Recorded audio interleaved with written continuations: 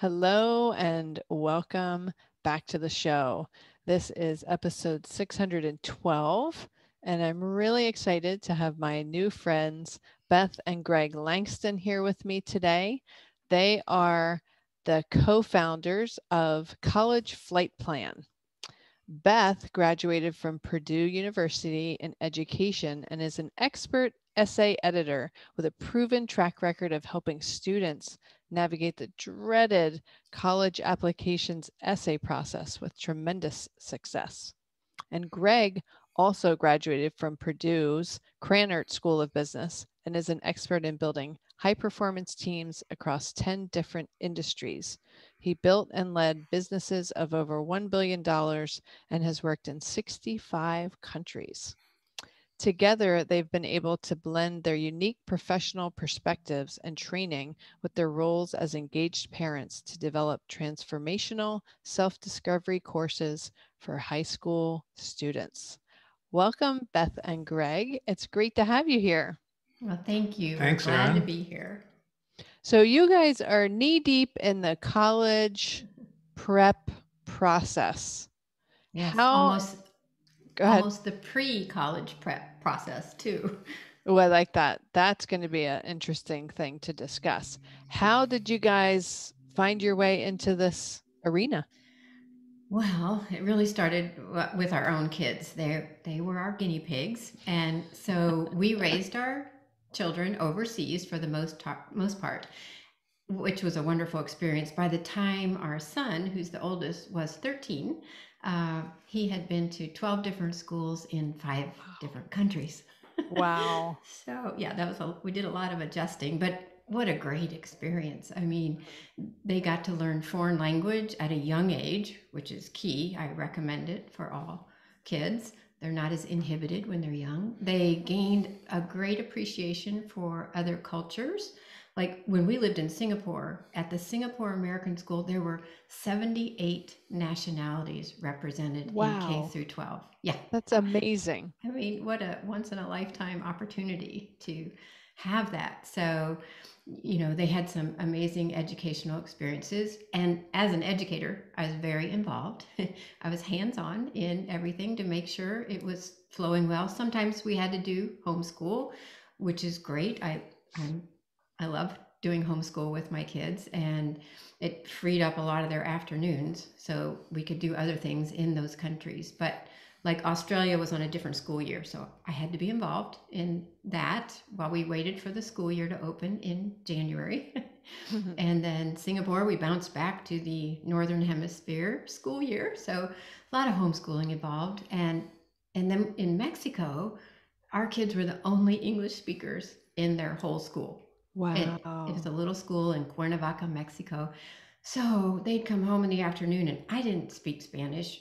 I took German in school. So I was learning Spanish. We had the Spanish English dictionary in one hand and all their homework in the other. And we would plow through for like four hours every afternoon getting their work done. But they did it, they could do it. And amazing. Uh, yeah, it's amazing what kids can do. But, you know, so we also had a school in our house. We hired a teacher uh, one year to come down and live with us. And we had some other expatriate kids who we, we had third, fourth, fifth, and sixth grade in our house, which was wonderful. It was a great year of schooling for them. But we knew we had to get back to the States by at least by the time they reached high school because we wanted to prepare them or have them prepared for the college application process. We thought there'd be more opportunity for self-discovery and those type things in high school. In the U.S. because there was, didn't There wasn't any overseas, right? overseas, right? But and then it turns out there wasn't an opportunity in high school either in the US. So, and on the other hand, Greg, as an international executive what, running large corporations, he was provided with hours of executive training and coaching to equip him with all these great leadership skills and team player skills, which is great to know. And he kept asking, why did I have to wait 20 years to learn this? And why aren't they teaching this to kids in high school right now? Amen. yes, right. So, with Greg's executive training and my education background, we started developing tools on our own that we used on our own children. Right? They were our guinea pigs. We didn't. We didn't break them. We didn't break them. No, but I didn't uh, think so. and and then their friends were also in our workshops, and then area students were in our workshops, and it just grew, and we were getting such positive results. So. It, it's wonderful. That's how we got started in this 20 years ago. Yeah. Wow. That's incredible. What a great story. So, what is what jumps to mind for either one of you as one of the most notable, memorable uh, kids you worked with? Mm. I think that's a that's a Woltie's a good example.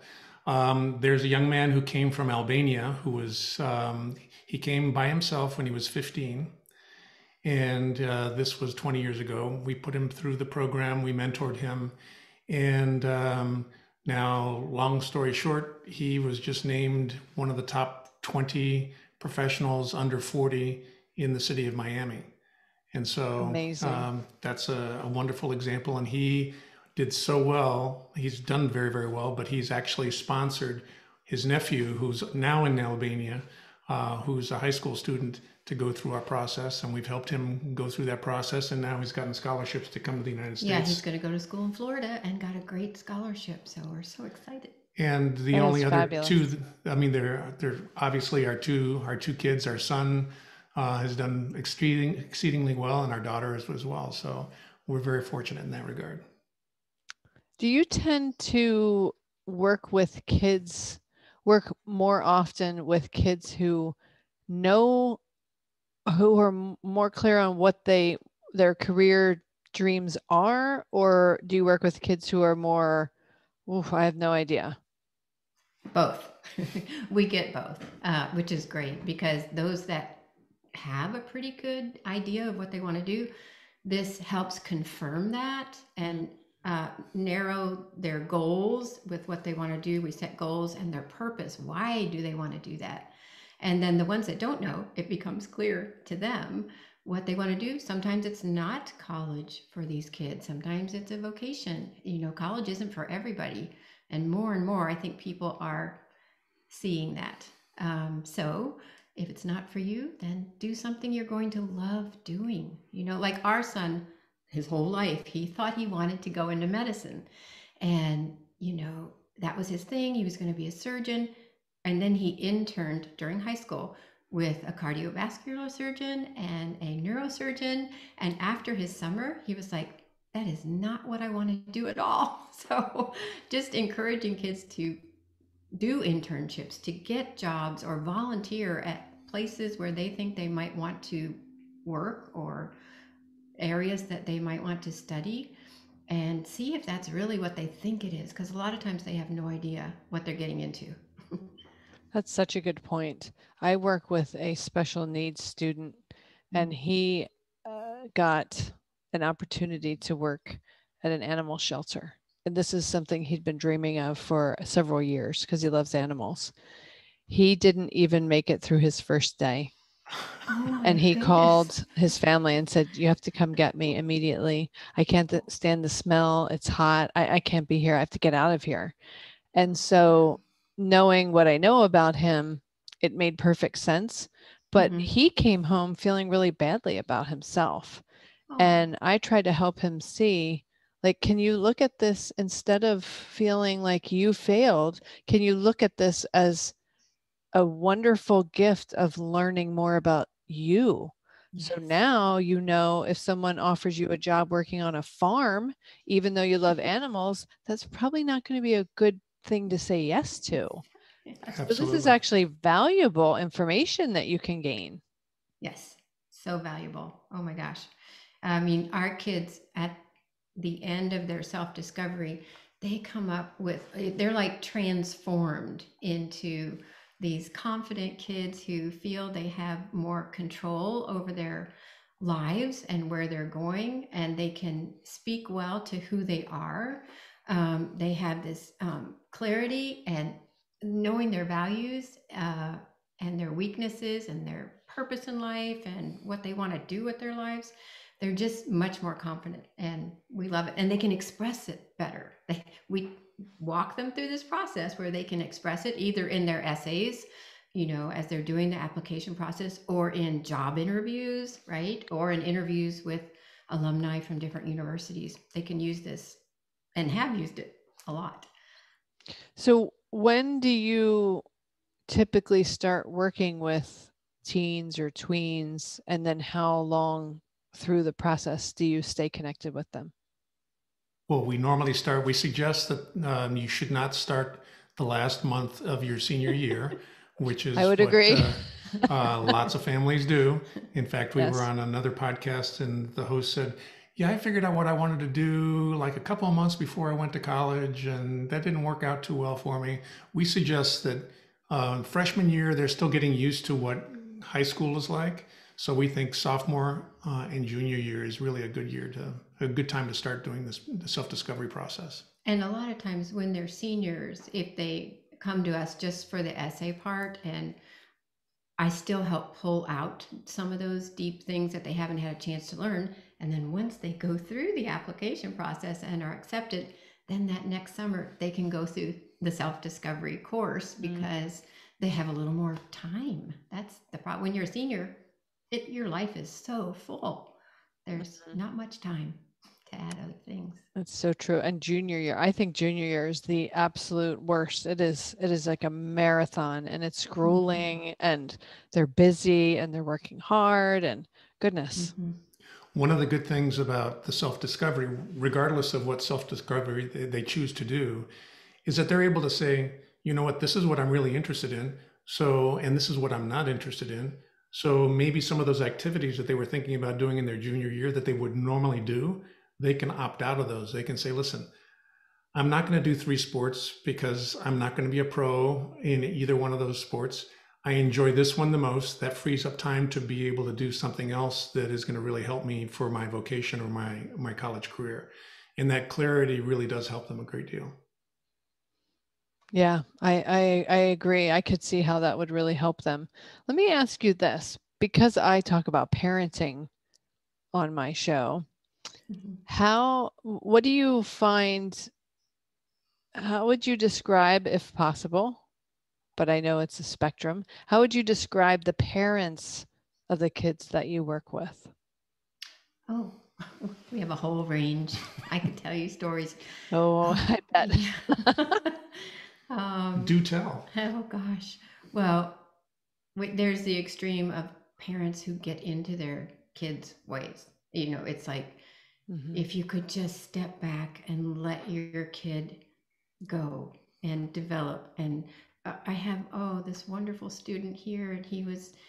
He, he was what I call for his essays an overwriter, and he didn't go through our self discovery. But I was trying to pull things out of him, and we when we would have a meeting, it was so great. And then mom would walk in the room and take over and one time she actually told me on the phone, she goes, You know, I really don't want him to go away to college, even though he was highly qualified to get in anywhere.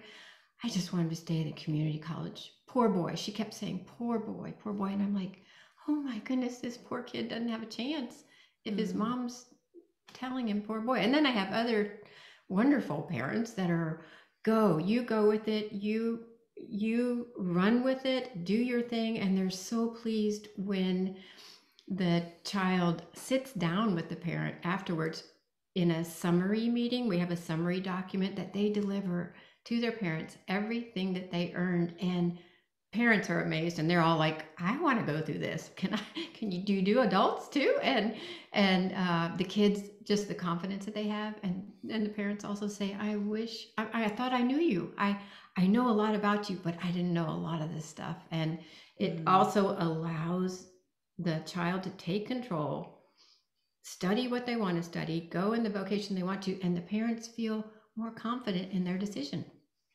It really does change the dynamic because typically it's parents saying, You got to do this for the college. You got to do this for the college. You got to do this for admissions. Did you take this test yet? We got to prep for this. Do we need to get you tutoring? And what the program does is it allows the student to have a sense of control because instead of take a family, and we've seen this many times, where there's a family and they're predominantly lawyers or they're doctors and they say, well, Johnny, you got to be a lawyer or Susan, you've got to be a, a doctor because look at everybody, we're all doctors.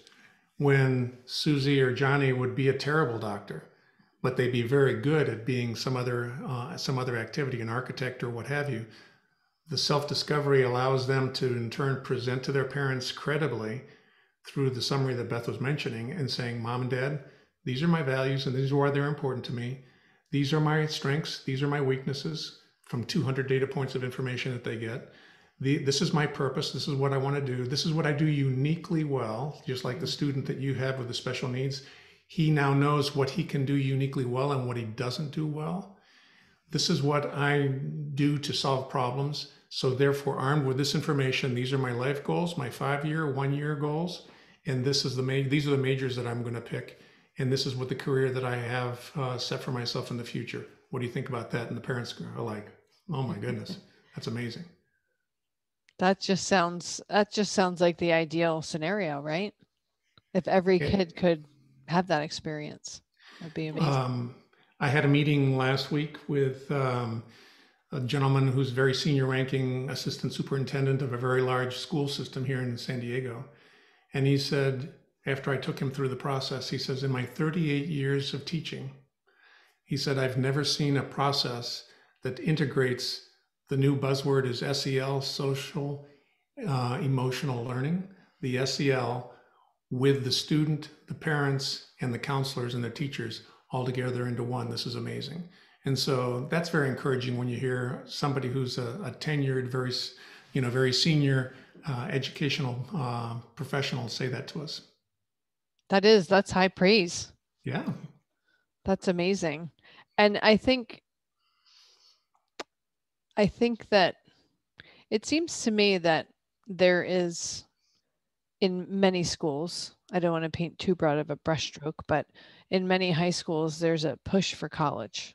And of course, that's not the only message everywhere, but there's a push for college when you you kind of mentioned earlier that maybe college isn't necessarily the right choice for every child and maybe they'd be an amazing plumber or a gifted electrician or something and i know that these i, I read i've read articles where these trade um, apprenticeships go unfilled year after year after year because no one's encouraging anybody to go into them. And you know i don't think robots can replace every aspect of the human being.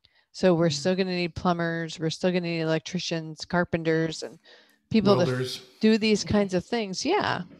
And so i think it's it's it's great to hear that you help kids figure out what it is they want to do even if it may not be college, even if college isn't necessary for what it is they want to do. Yes. And what is the dropout rate of kids that go to college? Is it like 40%? 40, right. And then, so if they're dropping out at 40%, and then of those wow. who finally graduate, it took 40% of those students took four years to get there. 60% of them took six years because they're changing majors, mm-hmm. you know, three times. And the kids that dropped out shouldn't have been in college in the first place, probably, or they didn't know how much it cost. You know, there are many variables that go into why students drop out. So if they could, they can save a lot of money in the end if they don't either, if they choose not to go to college or if they know what they want to study. Because each year, I mean, tell me the prices of college? Well, uh, in state all in costs $27,000, out of state $43,000, private schools $50,000. Ivy. Ivy League is $80,000. And just think if a student goes for two years um, and then drops out, the real travesty is they, they drop out, they don't have a degree, they can't earn, they have to pay the money back, they can't earn the money to pay it back effectively. They are totally demoralized and they're not working in their purpose. And so this is happening more and more today. And the good thing about whatever self discovery families and students get, it really does pay off by going through that process. It's so, so, so, so, so true. I could not agree more. If a child is a, a young person is encouraged to go to school and it's not right for them, and then they do only make it through one or two years, then they're so demoralized.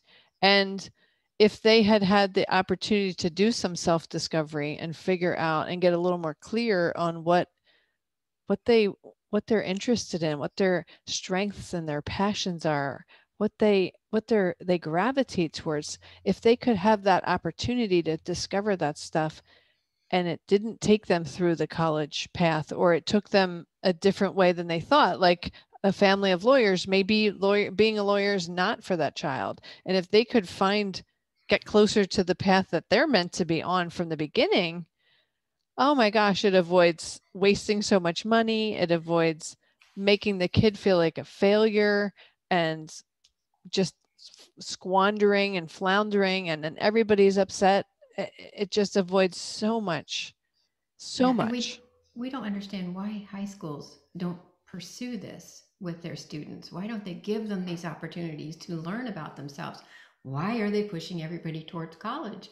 And plus there are 424 the national average is 424 um, high school guidance counselors to every no, students. Uh, students to every one guidance counselor and the average the recommended amount is in the low 200s per guidance counselor in and california it's 900 yeah. students per counselor so how are you going to get that self-discovery yeah. you, you know even if the person was a superwoman uh, or superman they can't do that.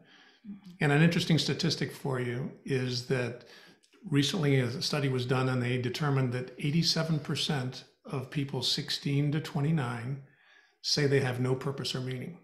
Mm. 87%. It's heartbreaking. It is. And so, you know, we want people to launch or their flight plan from home into whatever their vocation is or into college. And then whatever the we then want them to launch from college or their vocation and launch into a career, we don't want them to fly back into the parents' basement. Right.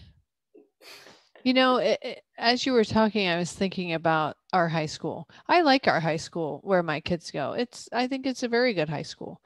But when you said why, why don't schools teach this?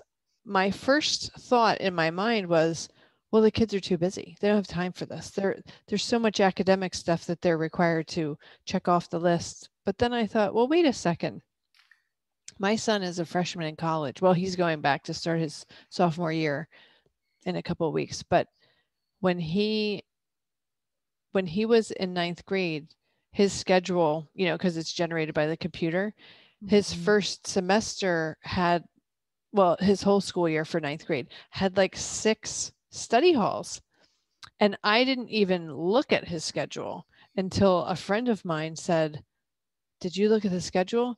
You might have to adjust something. And I was thinking, Adjust something? What, what do you mean? And I looked at it and I thought, Ah, and I was panicked and I sent the, the guidance counselor an email. Oh my gosh, he has six six study halls and i'm thinking oh he's never going to graduate goodness gracious we got to get these out of here so she adjusted his schedule and I think she left two in or something, which worked out really well for him because it allowed him to get some school some homework done in school to lighten his load mm-hmm. at home. Right. So it was great, but I remember kind of in the back of my mind feeling a little bit of stress like he's got a study hall. Okay, well that's good for uh, for now. It helps him get his schoolwork and his homework done, but oh my gosh, if he has too many, maybe he won't graduate on time. I mean, it was ridiculous. but what ended up happening is that by his senior year, he, I think he was in school. He might have been in school the whole day in the fall of his senior year, but by the the spring of his senior year, which was the pandemic, so he only got to enjoy this until you know for a month or and a half or something but he was finished school by like 9:45 in the morning. So then i think okay well there actually is time. There actually is time. Like if a school if there's any board of ed members superintendents teachers decision makers in schools listening to this episode, I think there really is time to fit a, even just a nine week elective into that sophomore junior year kind of time frame where kids could have a discovery experience like this where they do get to spend a class period for a few weeks talking about what it is they like taking some um, some questionnaires and trying to kind of narrow it down because you're right the guidance counselors they don't have time to to help all these kids figure out what they're meant to right. do and there are a lot of tools out there you know and what happens is parents think that you know a school is using naviance or one of these other software programs that exist. And they have components in there to do an assessment like a strong's um, you know skills analysis or what have you. Those are great but it's on a given day how you take that one assessment that all of a sudden you come out and you say okay i'm going to be an architect um, i don't think that's that's not enough that's not comprehensive enough i think it's important for a student to really do a deep dive and get insights from people who really care about them mm-hmm. to be able to come to that determination to say this is what i do really well and i suck at this so i should probably not spend a whole bunch of time doing this or learn how to mitigate that Mm-hmm. I think that's a great that's a great uh, point. And in the meantime, while these classes don't exist, students and parents can certainly reach out to you to to get some guidance and a deep dive that would definitely help them have some more clarity and direction because definitely. I know so we, many we are here to ease that stress that they're feeling. Yeah, you know, so many kids areas. and parents feel that stress Ah, I think there's so much pressure, even if we just talk about the kids going to college. I think there's so much mm-hmm. pressure. And I think about Facebook and I think about, you know, the past years, five, ten years, whatever it is. And I think about how I think about people in, you know, on my friend group friend list and they post, oh, so my child committed to blah, blah, blah school or university of or such and such college. Mm-hmm. And it's like this big, huge event. But I think I, I always tell teenagers that you're when you go to college, you are not signing your name in blood on any piece of paper. So you are not this is like not like a life sentence and if you get in there and you realize that the major you pick doesn't feel right the school you pick doesn't feel right you can always change. You don't have to put so much pressure on yourself. Do the best you can to make the decision that feels right given what information you have and then if you need to change it's okay. It's not the end of the world. I think there's so much pressure on kids these days it's so true. You are so wise to do that. And about the Facebook and social media, we try to teach our students to have a growth mindset mm, and I to stop stop measuring themselves against social media and um, about the perfection. I love explaining right. that. You know, you can't measure yourself against perfection. And you know, the no. last time, well, we flew a couple months ago, which was kind of a treat again. But um, you know, if you can just visualize in your audience, visualize when you're in an airplane and you're up at 35,000 feet, and you're coming up on the clouds that are on the horizon, and you're moving towards the horizon. That's perfection. And as you get closer to those clouds and the horizon, the horizon keeps moving away. And that's yes. the same with the social media that, that the kids are facing. And that is not a positive way to measure yourself. And the, the best thing to do is measure yourself against something that is tangible. So you measure yourself against what you accomplished yesterday. That's very clear, that's very measurable, and that will help provide you with more confidence than trying to measure yourself against somebody's curated, um, beautiful photograph about um, them being on some vacation or being approved at some school. Yes, and we teach them progress, not perfection. You just mm. want to mm. progress. Focus on your own results, stop comparing yourself. And your favorite word in the whole? Yeah, my favorite word is with the growth mindset is the word yet.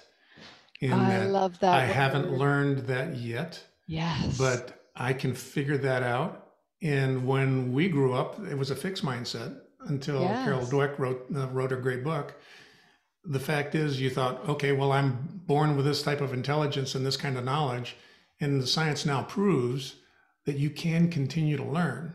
Mm-hmm. I mean, you mm-hmm. can learn everything. And that's why positive affirmations that you practice with your with your clients are so important in giving the sense of confidence to both parents as well as the students. Such good points. My kids used to swim and I loved when they started getting into it. I loved the whole environment of swimming because unlike a team sport, I mean, you're kind of on a team and you may be in a relay, but it's really an individual sport. And unlike a team sport, the person you're competing against doesn't have to be the people in the lanes next to you. It can be your last, your best time in that event. And the really cool thing about kids swimming is that they're always growing bigger and stronger and getting faster. So the vast majority of the time until they hit really high high levels elite levels as kids the vast majority of the time they're constantly beating their last time their best time. So i saw so many kids walking out swim meets where the the parents were congratulating them like genuine happiness and wow you did great. You shaved 3 seconds off your time or what have you and the kids are feeling good. And then i'm thinking about you know my kids played other team sports too and still do and i think about watching parents and kids walk off a baseball field a soccer field you know all these different team sports and the kid is down in the dumps and the parents mm. getting on them you know like yes when we can focus on being better than we were yesterday i think that is a confidence booster it takes uh, hopefully it mitigates the perfection uh, the perfectionistic tendencies or the the uh, I can't think of the word I'm looking for. What is the word I'm looking for? When you're tempted, the temptation towards perfection, it takes that away. And then you're just trying to be the best version of you. I mean, mm-hmm. nobody can be better at being you than you are. So if we focus on that and encourage kids to focus on that, figure out who it is you're supposed to be, who you came here to be, and then try every day to be the best version of that who could feel bad about that? And if you can help them to capture with their feedback that they get from parents, friends, loved ones, and people can do this on with just a piece of paper, and they capture their their passions, their strengths, their goals, what how they solve problems with certain different assessments that, that we give, and people can pick other assessments. And we help them to craft a paragraph that says, This is my wheelhouse. So when I'm placed in a situation where I'm not sure, I'm not clear, and I need to volunteer, be it at school, on a project, or at work, they know that if I volunteer for this aspect of the program or the project, that they're going to be confident in, in their success versus saying, well, I hate public speaking and everything else has, has been picked. So I got to be the person who presents this. That's not going to work well. That's that one's going to hurt. And so it's or leave a mark, as people say. Um, the, the fact is, you want them to feel that they are working in their wheelhouse or what we call their distinct natural ability, their DNA. Oh, I like that. I like that acronym. Very good. I like it.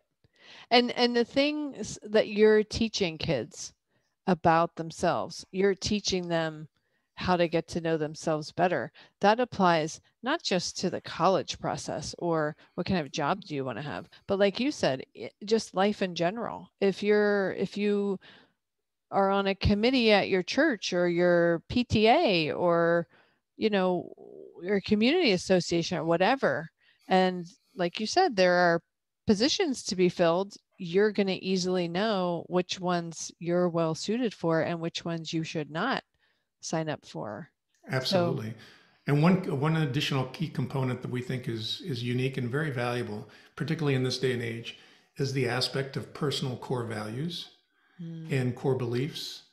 And if I can describe it, and this is the basis for our whole program, if you can imagine a large tree with a very deep root system, and you're looking at a cross section, and you see the roots that are going deep into the ground, Those are your beliefs or your values.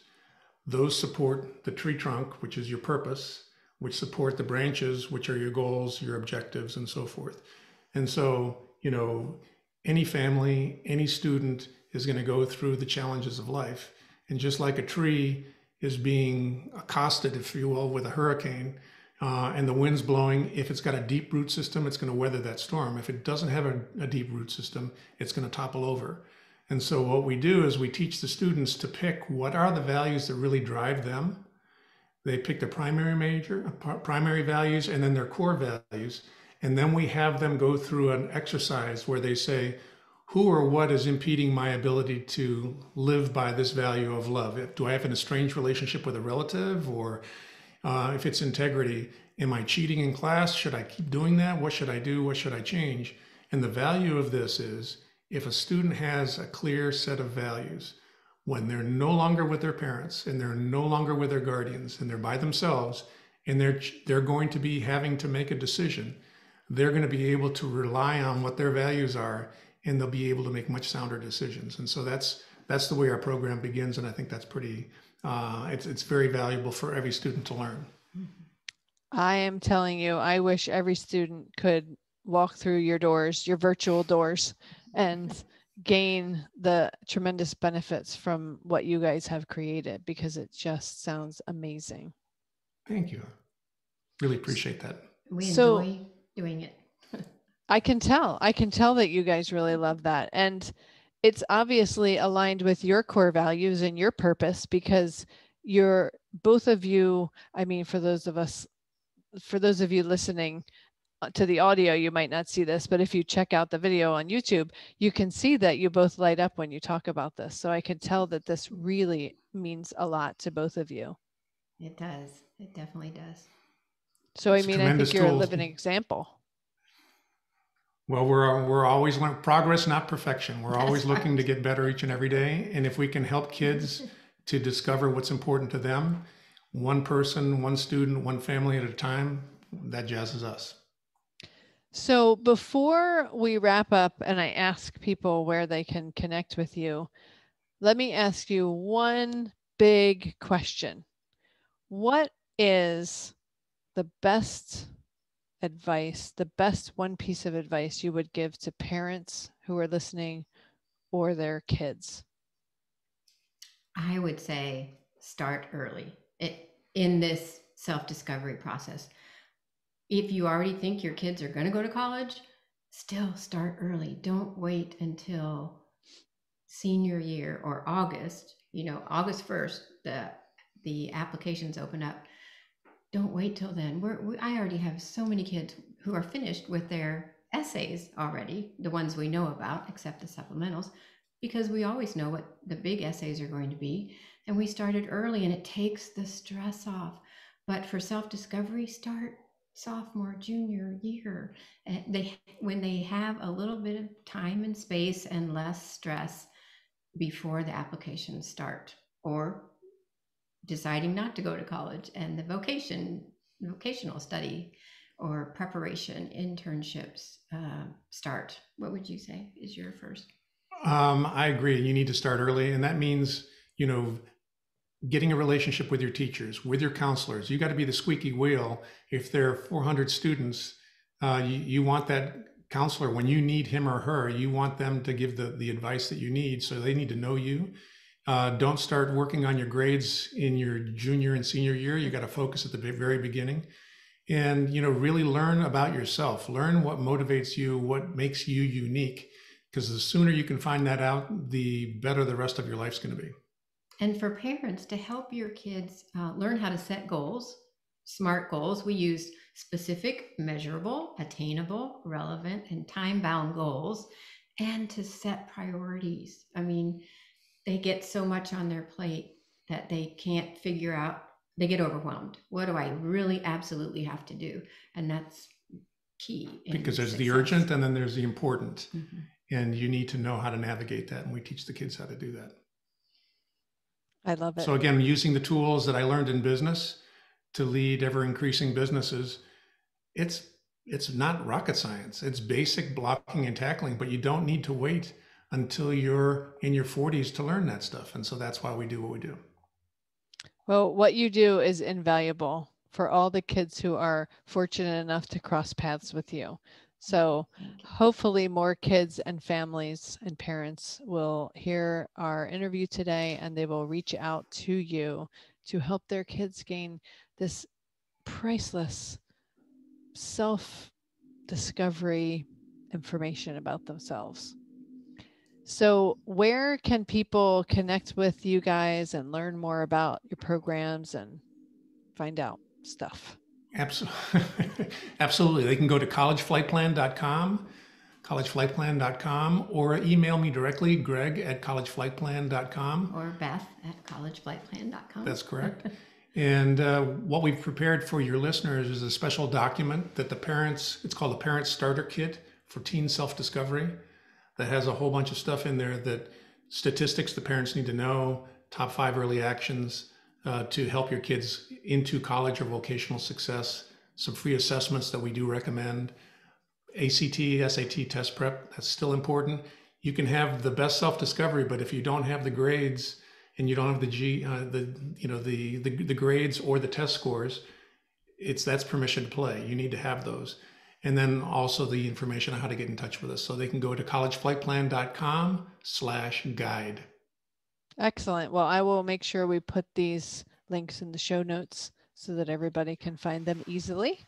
Wonderful. And I wanted to thank both of you for spending this time with me today and sharing this valuable information with my audience. I know that I have parents of teenagers who listen, so I think they're really going to enjoy this conversation, and I do hope that they will reach out to you both. Oh, thank you, Erin. It's our pleasure to be here. We Absolutely. appreciate the opportunity. Thanks so much. So that wraps up today's episode. And I hope that you've gotten a lot of value out of our discussion today. And I hope that wherever you are in this world, you make it a day full of self discovery.